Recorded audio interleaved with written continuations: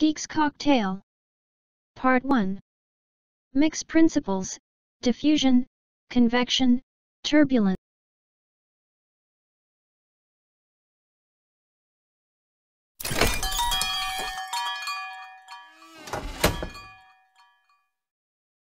In this video, the mix principle, diffusion, and convection, and turbulence are explained with experiments.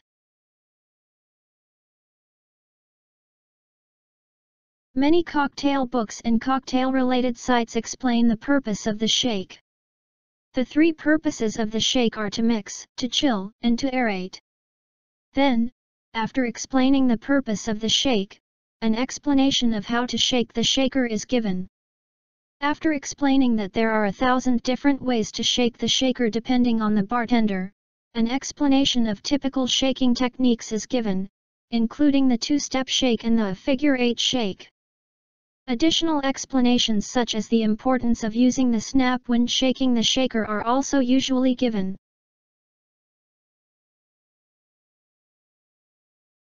However, it is rarely explained why the shaking of the shaker achieves the objectives of mix, chill, and aerate.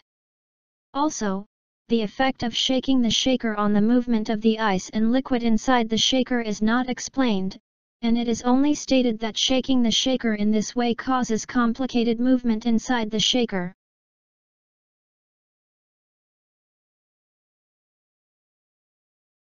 Essentially, the physical and chemical principles for achieving the purpose of the shake are explained, and then it is necessary to consider the movement of ice and liquid inside the shaker, which is optimal for practicing the principle. In this video, the principles for one of the objectives of the shake, mix, are explained. To mix is to bring different things into a state of uniform dispersion. The screen is an image diagram of mix. The left side of the screen shows the separated state before mixing, and the right side of the screen shows the state of uniform dispersion of different materials after mixing. Diffusion and convection are necessary for mixing. Diffusion mixes by interchanging different substances at the molecular level, but it takes a significant amount of time for them to mix completely. Convection quickly increases the interface between different things by stretching the separated state with flow. Convection includes natural convection generated by temperature difference and specific gravity difference, and forced convection generated by external force.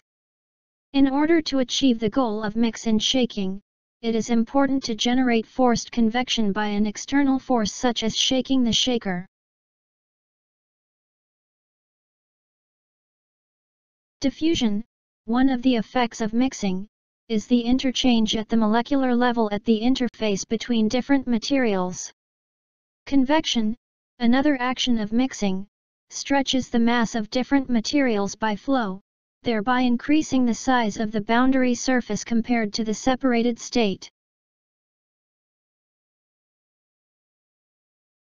Convection increases the size of the boundary surface, which in turn increases the molecular level interchange of different materials at the boundary surface due to diffusion that occurs at the boundary surface.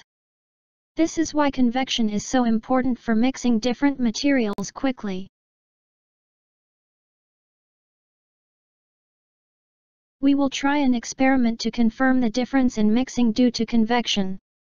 The glass is filled with a chili pepper to make it easier to see the flow of the liquid. The left side of the screen shows mixing by the action of forced convection and diffusion. The right side of the image shows mixing by natural convection and diffusion. There does not seem to be a significant difference in the mixing speed between natural convection and forced convection. Why is this? In fact, there are two states of flow, laminar and turbulent. Laminar is a flow in which the fluid is in regular motion, while turbulent is a troubled flow in which the fluid is in irregular motion. In order to mix liquids, a state of turbulence is necessary in which adjacent parts mix together due to irregular motion. When an obstacle is present in a laminar flow, which is a regular flow, turbulence is generated behind the obstacle. The higher the velocity of the flow, the more turbulence is generated. Turbulence consists of vortices of various sizes. Each of these vortices, large or small, causes a switching of elements due to diffusion, so that adjacent parts mix together. However, the lifespan of these vortices is short and they disappear quickly. In the previous experiment, there was no difference in the rate of mixing between natural and forced convection. This is due to the disappearance of the turbulent vortex.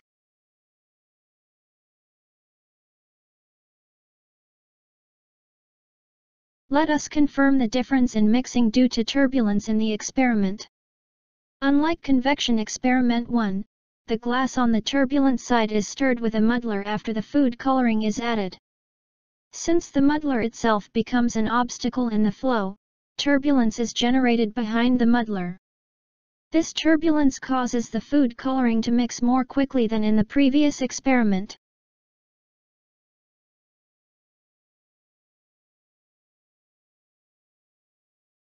In this video, we explained the principle of mixing. It explained that mixing requires forced convection to stretch the boundary surfaces of different elements, the generation of turbulence that turns the flow of forced convection into a flow of easily mixable conditions, and the action of diffusion, which is the replacement of elements in vortices of various sizes in the turbulence. As a large vortex of forced convection, this series of actions can be repeated to achieve efficient mix. In shaking, the ice inside the shaker and the strainer of a three-piece shaker are the obstacles to generate turbulence. I find it difficult to have a concrete image of increasing the velocity of forced convection inside the shaker. I plan to explain these things in detail in another video, but I'll touch on them briefly in this video as well. A high flow velocity means that the flow distance is long in one second. There are two ways to increase the flow velocity inside a fixed size shaker. One is to increase the speed at which the shaker is shaken, and the other is to increase the actual distance traveled inside the shaker. In other words, forced convection, which causes rotation along the inside of the shaker, and increasing that rotation leads to higher velocities.